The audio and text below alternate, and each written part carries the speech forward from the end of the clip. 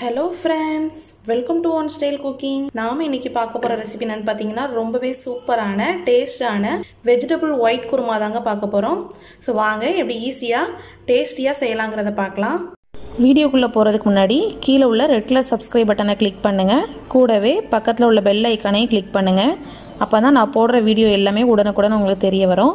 வாங்க இப்போ வீடியோக்குள்ளே போகலாம் இந்த வெஜிடபிள் குருமாவை நம்ம கடாயிலையும் செய்யலாம் குக்கர்லேயும் செய்யலாம்.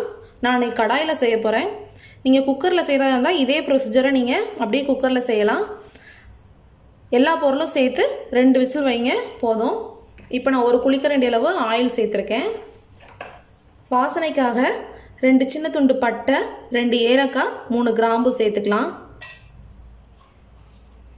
கூடவே கொஞ்சம் கடல் பாசி.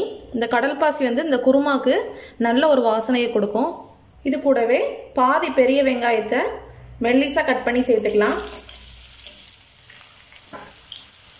இந்த வெங்காயம் சேர்த்து லைட்டாக வதக்கிக்கோங்க.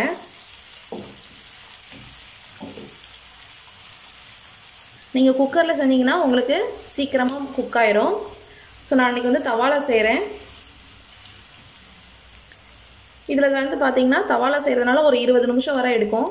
ஸோ இப்போ அந்த வெங்காயம் நல்லா வதங்கட்டும். இப்போ வெங்காயம் வதங்கும் போதே கொஞ்சம் கருவேப்பிலையை சேர்த்துக்கோங்க.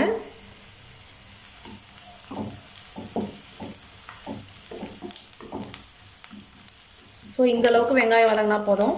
இப்போ இதில் இஞ்சி பூண்டு பேஸ்ட் சேர்த்துடலாம். நான் ஒரு ஒன்றுலேருந்து ஒரு ரெண்டு ஸ்பூன் கிட்டே சேர்த்துருக்கேன்.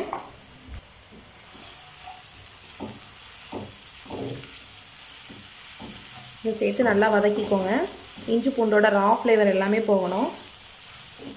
இப்போ நம்ம இதில் வெஜிடபிள்ஸை சேர்த்துடலாம்.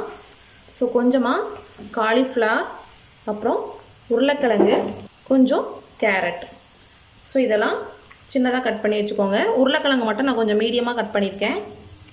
இது கூடவே நீங்கள் பீன்ஸ் இருந்தால் சேர்த்துக்கலாம். நான் வந்து பச்சை பட்டாணி சேர்த்துக்கிறேன். ஒரு கால் கப் அளவு பச்சை பட்டாணி சேர்த்துக்கோங்க. இதெல்லாம் சேர்த்து நல்லா மிக்ஸ் பண்ணிக்கலாம்.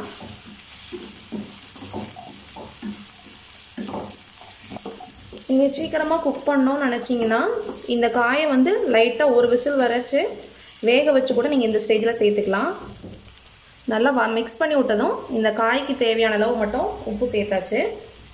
ஸோ இதெல்லாம் சேர்த்து நல்லா மறுபடியும் மிக்ஸ் பண்ணி விட்டுக்கோங்க. இப்போ இதை ஒரு மூடி போட்டு ஒரு ரெண்டு நிமிஷம் மட்டும் குக் பண்ணலாம். அந்த ஆயிலில் வந்து இந்த வெஜிடபிள்ஸ் எல்லாம் நல்லா வதங்கட்டும். நாம் இப்போ இதுக்கான மசாலா செய்ய ஆரம்பிச்சிடலாம். ஸோ பார்த்திங்கன்னா தேங்காய் எடுத்துக்கிறேன். ஸோ தேங்காய் வந்து பார்த்திங்கன்னா அரை மூறியில் இந்த அளவு தான் தேங்காய் எடுத்திருக்கேன். இதில் தேங்காய். நீங்கள் துருவினாலும் சேர்த்துக்கோங்க. நான் கட் பண்ணி எடுத்திருக்கேன். ஸோ இதில் ஒரு ஸ்பூன் பெருஞ்சீரகம். பெருஞ்சீரகம் தான் இந்த குருமாவுக்கு வந்து பார்த்திங்கன்னா நல்ல வாசனையை கொடுக்கும். கூடவே திக்னஸ்க்காக ஒரு அரை டீஸ்பூன் அளவு கசகசா மூணு முழு முந்திரி பருப்பு. உங்ககிட்ட பாதி முந்திரி பருப்பாக இருந்துச்சுன்னா ஒரு அஞ்சுலேருந்து ஆறு சேர்த்துக்கோங்க. காரத்துக்கு வந்து பார்த்திங்கன்னா நம்ம பச்சை மிளகா தான் ஆட் பண்ண போகிறோம் ஸோ அதாவது நம்மளுக்கு ஒயிட் குருமாங்கிறதுனால மிளகாத்தூள் வந்து சேர்க்கக்கூடாது. ஸோ அதனால் இந்த பச்சை மிளகாவையும் சேர்த்து அரைச்சிடலாம்.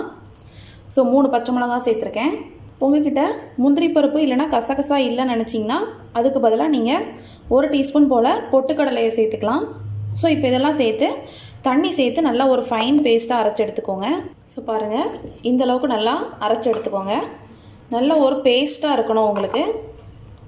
நல்லா க்ரீமியாக இருக்கும் அப்போ தான் உங்களுக்கு நல்லா திக்னஸ் கொடுக்கும் உங்களுக்கு குருமாவில் ஸோ இப்போ ரெண்டு நிமிஷம் ஆயிடுச்சு. ஓப்பன் பண்ணி பார்த்துடலாம் ஸோ பாருங்கள் நம்ம தண்ணி எதுவுமே சேர்க்கலை. அந்த வெஜிடபிள்ஸ்லேருந்து வந்து தண்ணியிலே பார்த்தீங்கன்னா நல்லா வதங்கியிருக்கு. அந்த தண்ணிலாம் நல்லா வெளியே வந்திருக்கு பாருங்கள் நல்லா வாசனையாக இருக்குது இந்த ஸ்டேஜில் நம்ம மசாலா அரைச்சி வச்சுருக்கோம்ல அந்த பேஸ்ட்டு சேர்த்துடலாம். ஸோ இந்த பேஸ்ட் தான் பார்த்திங்கன்னா அந்த குருமாவுக்கு தேவையான ஃப்ளேவர் திக்னஸ் எல்லாமே கொடுக்கும். இது கூடவே குருமாக்கு தேவையான அளவு தண்ணி சேர்த்துக்கலாம்.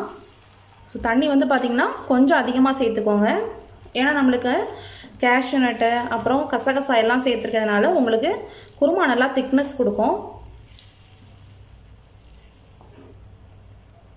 இப்போ மசாலா எல்லாம் சேர்த்ததுக்கப்புறம் மறுபடியும் இந்த லிட்டை மூடி ஒரு பதினஞ்சு நிமிஷம் நல்லா மீடியம் ஃப்ளேமில் வச்சு குக் பண்ணுங்கள் ஸோ அப்போ தான் அதோட ரா ஃப்ளேவர் எல்லாம் உங்களுக்கு போய் அந்த வெஜிடபிள்ஸ் எல்லாம் நல்லா குக் ஆகும். ஸோ பதினஞ்சு நிமிஷம் கழித்து நம்ம ஓப்பன் பண்ணி பார்க்கலாம்.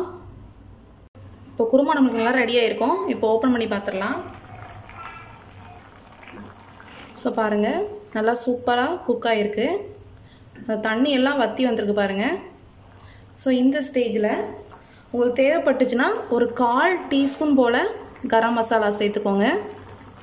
கரம் மசாலா பவுடர் கால் டீஸ்பூன் போதும். ஸோ ரொம்ப சேர்த்திங்கன்னா உங்களுக்கு அதோட கலர் வந்து சேஞ்ச் ஆயிரும். ஸோ இப்போ அந்த மசாலா சேர்த்ததுக்கப்புறம் ஒரு நிமிஷம் மட்டும் குக் பண்ணிவிட்டு நம்ம அடுப்பை ஆஃப் பண்ணிடலாம். ஸோ பாருங்கள் ஒரு நிமிஷம் நல்லா கொதிச்சிருச்சு.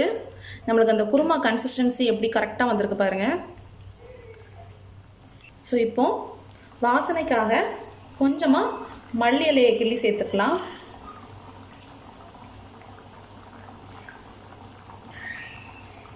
இப்போ மல்லி சேர்த்து அடுப்பை ஆஃப் பண்ணிடலாம். ஸோ நம்மளோட சூப்பரான ஹோட்டல் ஸ்டைலில் வெஜிடபிள் ஒயிட் குருமா ரெடி ஆகிடுச்சு ஸோ உங்களுக்கும் இந்த ரெசிபி ரொம்ப பிடிச்சிருக்கும்னு நினைக்கிறேன். இந்த ரெசிபி பிடிச்சிருந்துச்சுன்னா நம்ம சேனலை லைக் பண்ணுங்கள் ஷேர் பண்ணுங்கள் சப்ஸ்கிரைப் பண்ணுங்கள் மறக்காமல் கமெண்ட் பண்ணுங்கள் தேங்க்யூ